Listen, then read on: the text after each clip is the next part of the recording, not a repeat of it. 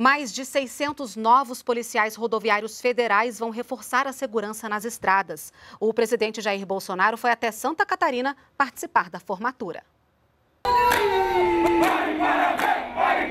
Os 650 novos policiais rodoviários federais estão prontos para exercer a profissão pelas rodovias do país.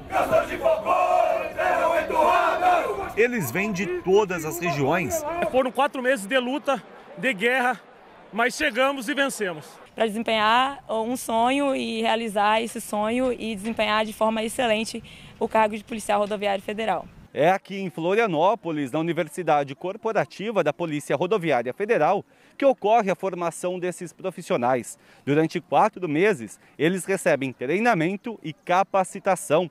E este ano, a formatura teve um motivo a mais de emoção. O prazo do concurso, realizado em 2018, estava terminando quando o presidente Bolsonaro assinou a convocação dos aprovados e o curso foi realizado mesmo durante a pandemia. É uma data inesquecível que os marcará para sempre.